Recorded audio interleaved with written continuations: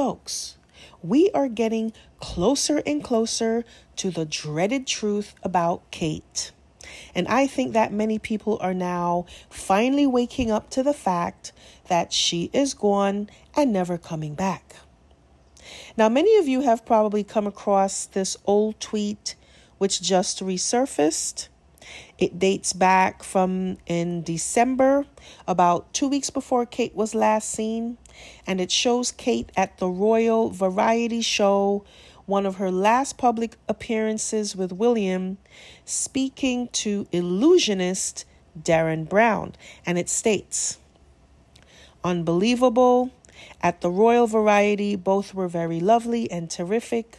At the meet and greet, Incidentally, when she shook hands with me, she pressed a tiny piece of folded paper into my palm. I looked at it later. It had just one word written inside help.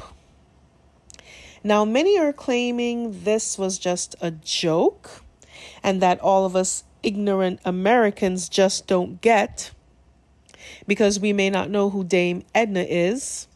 And Dame Edna was actually a character played by the comedian and satirist John Barry Humphries, in which years ago, apparently Princess Diana slipped a note into Dame Edna's palm with the word help. So, on the one hand, you have one group claiming this is just a joke, and then on the other, you have another group jumping all over this guy saying things like, Why didn't you help? And like, what was he supposed to do? Let's say this wasn't a joke. What do people really think he could have done? How was he even supposed to know what was going to happen? That days later, Kate would go missing, never to be seen again. And by the way, maybe this tweet, which he posted back on December 14, just one week before Kate was last seen, was his way of helping. Because what kind of power do you think this man had vis a vis the royal family? Seriously, what kind of power do you think he has? Do you think he could just go to Scotland Yard and say, Hey, the Princess of Wales slipped me this note? And they're going to be all like, Okay, yeah, let's go save her. Are people really this naive? The police is there to protect the monarchy. Period. End of story. And he's not stupid. Maybe by using the Dame Edna reference, this was his way of obscuring her plea for help in a coded message. Because if there's anything I've learned in all this, is that one must be able to decipher codes to read between the lines. And folks, I think there are coded messages everywhere. Now, I didn't know who this guy was before, but he is quite an accomplished author and mentalist, which is a new agey term for a magician. He's referred to as Britain's leading psychological illusionist. So it's entirely possible that upon meeting him at this event, Kate may have seen an opportunity for him to help her disappear. Now, since people have found this old tweet, he's been getting a lot of attention in the form of questions, but he has not addressed any of them. But of course, the royal apologists are just using this joke to show how ignorant and uncultured all us Americans are that this is just an old joke. But is it really? Now, he has not actually come out and stated that this is just a joke. In fact, ever since his tweet was discovered, it's been radio silence from him.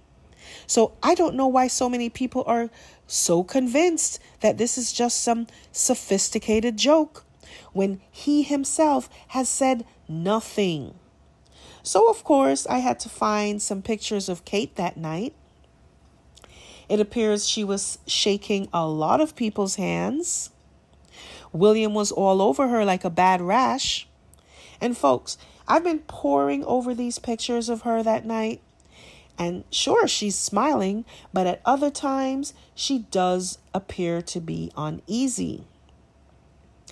Next, we have the story that keeps popping up about Kate's hospital hospital records that were breached.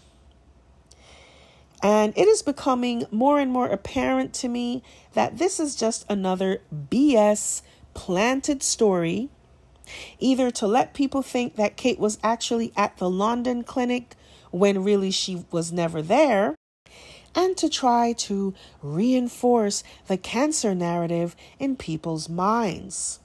Because all these hollow reports of Kate being very upset that her files were breached just don't ring true to me. In fact, any report that makes claims about Kate's emotions are immediately suspect to me.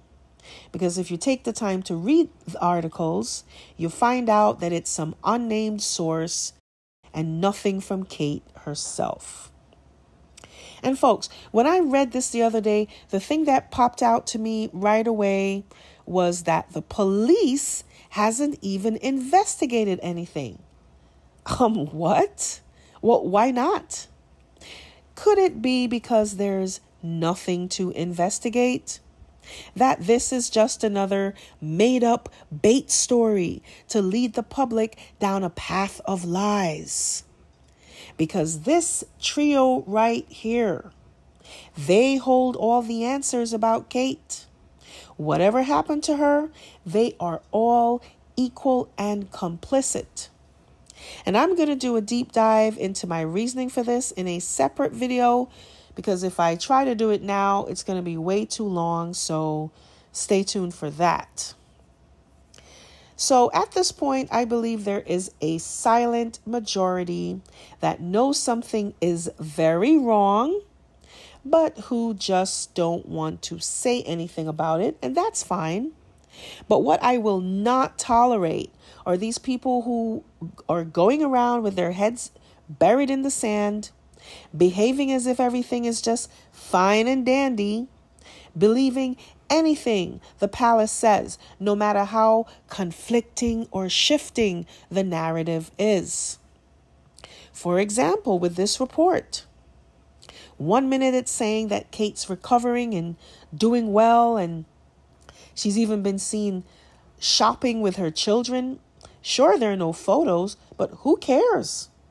Then the next minute, it's saying that Kate's unlikely to return because she's battling cancer and doesn't want to be susceptible to illnesses.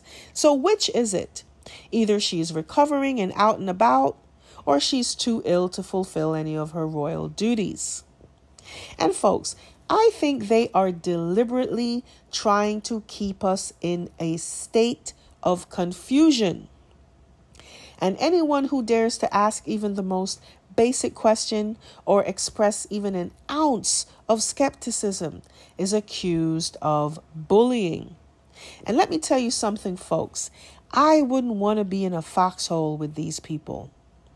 They're always talking about how much they love Kate, comparing her with Princess Diana.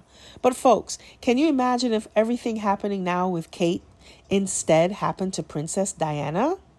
There would be a sea of flowers outside of Kensington Palace. There would be a huge public outcry demanding to know what's really happening. But with Kate, I just don't get it. People just don't really seem to care that much. And honestly, I feel really sad about that. I feel sad that her life did not really mean that much to people. I mean, they pretend to care, but they really don't. Because if they did, they would be demanding proof of life, real proof of life, an interview, a public appearance, not some highly produced, pre recorded video or some staged pap shot with a look-alike. They would be demanding to know that she is really okay, that her children are okay. And folks, what about her children? They are innocent. Don't you care about them? Because more and more, it's looking like the royal family has dispensed of this girl. And God knows who else. Because it is obvious that the spares aren't worth much to this family. I made a video previously where I pointed out that the queen's inheritance is passed down only to the next in line and to the heir. That's it. Only they get the money. Now, the queen may gift a home to a family member or someone who worked closely with her, but as you can see, upon her death, the new monarch can just snatch that gift right back. Just snatch it right back. So it's not really a gift at all. Now we know that Andrew was only getting allowance an allowance of about 250,000 pounds per year which he then lost when it was discovered that he was mixed up in the Epstein scandal. And by now, it's been reported all over the press that Charles wants him out of Royal Lodge. Andrew is apparently unable to keep up with the maintenance of the property because he is always broke. And he has to beg his big brother for money. Because only Charles and William hold the purse strings. Charles inherited almost a billion dollars from his mom, including the Duchy, I hope I'm saying that right, of Lancaster, and William inherited the Duchy of Cornwall. So only they get to say how much this one should get or how much that one should get. But you know who made sure she and her children were set up for life? That's right, the wily concubine turned Queen Camilla. Charles made damn certain to provide handsomely for her and her children over his own. But then there is Andrew, the king's little brother, who is refusing to budge from Royal Lodge. And maybe he knows some secrets that he is hanging over their heads.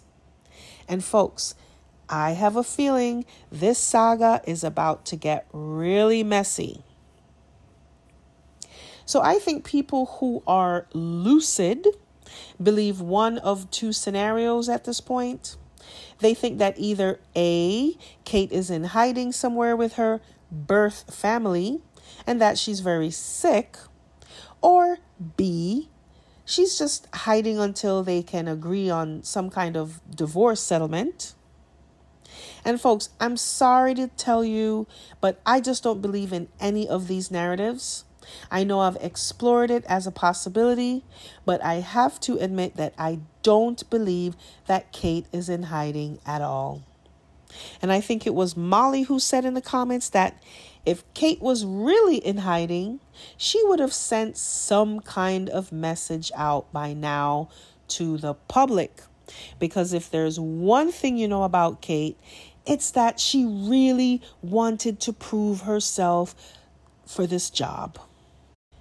Imagine every day, every waking hour during her 13 years in that den of vipers, she had to contend with Camilla and I'm sure others who reminded her on the daily that she did not belong there because of her class. So that made her try to be extra, extra perfect because she had so much to prove.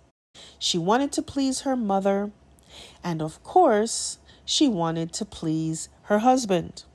And no matter what they want to say about Kate, that she was Waity Katie and all this other all these other taunts, Kate married for love. And that was her first mistake because this is a family that looks down on love. They see it as a weakness. And, folks, I have increasingly become attached to the theory that what happened to Kate in December was no haphazard event, but rather a carefully thought out, premeditated plan that was put in place much longer than we realize.